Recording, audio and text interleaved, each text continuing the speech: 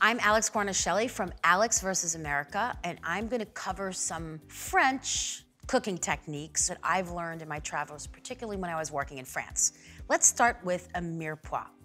A mirepoix is an assembly of vegetables, traditionally onion, celery, and carrots. So for a mirepoix, how do we do that? Generally, a mirepoix is a place where I might use some parts of the vegetable that in other more finessed places I wouldn't. But I'm gonna use all of this otherwise. For carrots, I would just cut that end bit off, right? Because a mirepoix, we generally don't wanna waste much. Now, I do peel the onion. So I just cut the top and bottom piece off and make a little cut down the middle and use that thumb paring knife. Look at that, peeled, right? Now, for a mirepoix where there's a longer cooking time, we wanna keep it kind of big. We want some nice vegetables that are gonna have some texture and some tooth on it when they're done cooking. So I even, I go like almost two inches on all these cuts. So I cut them all a similar size. Onions are pretty, you know, decently fragile and they tend to fall apart. Cut it kind of big. So there's an example of a little mirepoix. Other cool little Frenchy knife cuts, a macédoine, which is really just like a dice of vegetables that are cooked together. One of my favorites, a julienne. You can do this with a knife. You can also cut these on a mandolin, a little matchstick almost. And then a brunoise is just a fancy pants term for a small dice, technically 1 16th of an inch. Tiny, tiny. A chiffonade. Generally, a chiffonade applies to basil uniquely, and then I just roll them up like a little herb burrito. Nice and tight, and you're just gonna slice across that little burrito of basil leaves, nice and thin. All right, so we're exploring the technique of sauteing, which is just something that is cooked quickly in a little bit of hot fat. I've got some cremini mushrooms here washed with the stems on. I love a cremini or a white button. Just slice them up. Decently thick, you can saute at pretty much any vegetable or anything. A little bit of olive oil. I'm gonna heat up some fat here.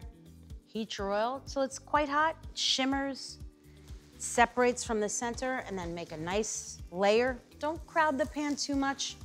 If you wanna saute well, a nice kind of overlapping single layer. Right away, a pinch of salt. Why?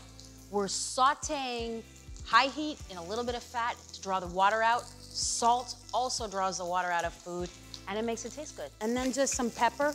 Notice how as I'm peppering, I move all around so that I'm getting pepper everywhere. The minute the salt and the pepper hits that wet food, it lands and it sinks. So you wanna sprinkle. The steam inside the mushrooms is escaping leaving us with a more delicious mushroom. So now you can take a couple of sprigs of fresh thyme or a sprig of fresh rosemary on the stem or both. And at this point, drop them right in there. And those are kind of our secret little flavor enhancers. When you saute quickly high heat, you wanna add garlic, add it somewhere here closer to the end. I'm gonna add about two cloves worth of minced garlic, you see we're at the end, the heat's mellow. The garlic is a late entry. Doesn't need to be in there long. And maybe some like parsley, you know, minced at the, at the last minute. Then right out of the pan, we'll saute. Piping hot, this is how we do it in restaurants. It's like aromatherapy for your stomach. Mm. All right, now we're gonna explore a cool French technique called flambéing, which just means flamed. So good. And you're gonna look really cool doing it, you know what I mean? In this case with tangerines, I'm just gonna take a little bit of butter and melt it. You want a little bit of heat on your pan, right? And again, if it gets a little hot, take it off for a second. And I'm gonna add some of these just tangerine sections right? And I just peeled and separated them. Give those a minute to soften. Let them gather up the butter. Tiniest pinch of salt. Tiny. Third of a cup of sugar. I'm using Demerara Fancy Pants. You could use brown sugar if you like. All right, so we're kind of ready for our flambe moment. I like often when the liquor matches either the exact ingredient or goes really well with it. So in this case, for tangerines or citrus, I always go to orange liqueur. Now, you can take it off the heat and pour the alcohol and put it back on. You can pour it over it and just step back and tilt. See that? That's the alcohol that flamed and is now just burning off. And so as you stir it, the sugar and the butter come up to meet that orange liqueur. Mmm, flambéed orange sauce right over the ice cream. I mean, come on. And you see a hot orangey tangerine sauce and those tangerines. This serves just me or two people. All right, so now I'm gonna show you a technique you may not have heard of. This is a cool little French technique, en papillote. Anything, fish, vegetables, a piece of meat and vegetables, wrapped and then baked. It's almost steamed in the oven in its little paper or aluminum pouch. So I create the pouch first by folding a piece of aluminum. I'm gonna cook some bass with some herbs and lemon, super simple. So three little lemon slices or so on the bottom and then my piece of fish. I keep the skin on.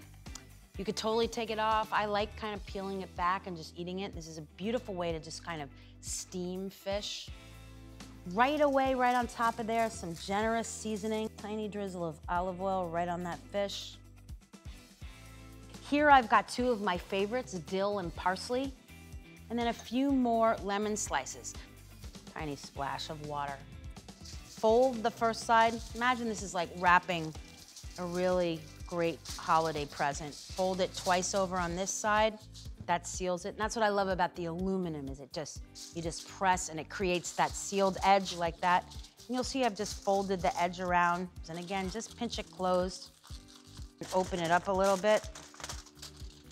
And this is gonna go in an oven at 425 for about 12 to 15 minutes more or less depending on the thickness of the fish and your other ingredients.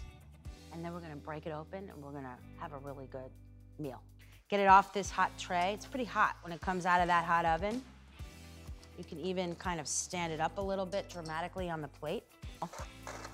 And we can just make a little cut. See that steam? Look at how beautiful this is inside. Look at that. Slide it right off. Drop all those juices. Mmm. Fish flakes off, look at that. Perfect. Slides right off the skin. Mmm. You know what? Um, I have to go right now. It's a really good technique, but I'm gonna go somewhere in private and eat all of this.